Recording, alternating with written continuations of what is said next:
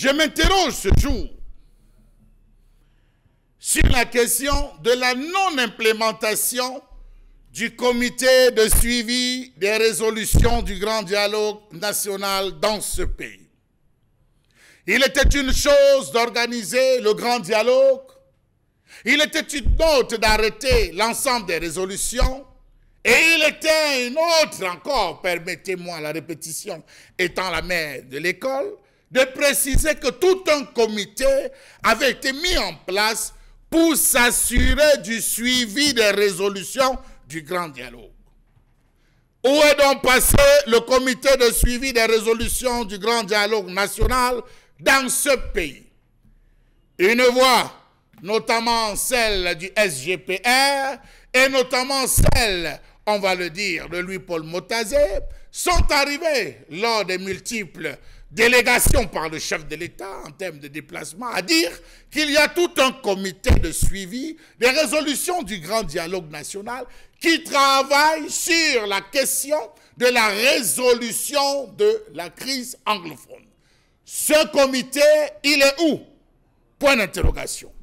Plus d'un an après sa création, l'instance placée sous la présidence du Premier ministre attend toujours la nomination de ses membres. Le 23 mars 2020, le président de la République a signé le décret numéro 2020, barre 136 du 23 mars 2020, portant organisation et fonctionnement du comité de suivi de la mise en œuvre des recommandations du Grand Dialogue national, comité placé immédiatement sous la présidence du Premier ministre. Comment comprendre qu'à ce jour, il semble avoir oublié d'en nommer les membres? Les membres dont le rôle devrait être de parcourir le pays, de parcourir les différentes régions concernées et de discuter sur la faisabilité des différentes résolutions arrêtées lors du grand dialogue.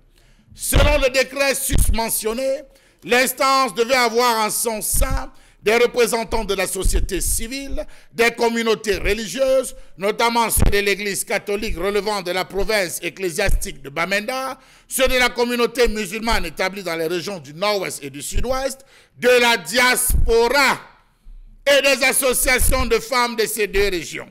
Sa cellule technique devrait être composée de représentants de l'administration et des institutions concernées, institutions gouvernementales concernées qui devraient ensemble analyser les points, discuter avec les chefs traditionnels, discuter avec les membres de la société civile des différentes régions concernées, relever les points, parcourir l'ensemble des propositions faites lors de la préparation du grand dialogue national, plancher dessus afin de pouvoir s'assurer du suivi des ajustements après compte rendu fait au chef de l'État. Ce comité qui n'existe que sur le papier est chargé, outre, disons-le simplement, du suivi des recommandations telles qu'approuvées par le chef de l'État, de prendre les orientations stratégiques nécessaires à la mise en œuvre des dites recommandations et de prescrire des activités les activités susceptibles de concourir à la mise en œuvre pertinente. Il doit par ailleurs prescrire toute mesure visant à mobiliser les Camerounais de l'intérieur et de l'extérieur en vue de leur implication à la construction de la paix et la poursuite du développement national. Il lui revenait également de recueillir les avis et suggestions susceptibles de faciliter la mise en œuvre de ces résolutions.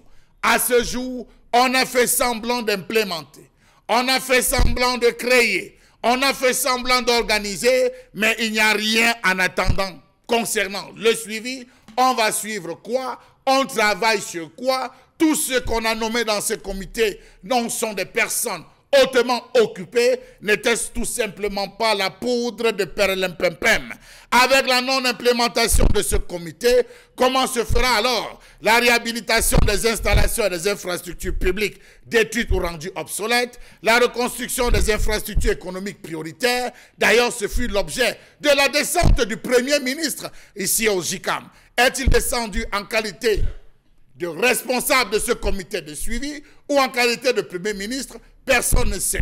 Comment se fera le recensement des personnes déplacées de la crise dans le nord-ouest et le sud-ouest, l'évaluation de leurs besoins socio-économiques de base tel qu'il avait été prévu. On comprend donc pourquoi est-ce que le plan de reconstruction des régions du nord-ouest tarde et pourquoi est-ce que c'est le Premier ministre qui est venu encore à la rencontre sans avoir mis tout autour le Bataclan. Les membres ne sont pas nommés, les résolutions ont été arrêtées, on est en train d'implémenter, entre guillemets, de manière sournoise, l'ensemble de ces différentes résolutions.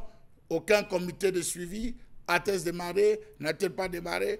Beaucoup de mesures avaient été annoncées au lancement de ce débat il y a un an, mais hélas, on en est où? Si le comité n'existe pas, c'est le suivi qui va le faire?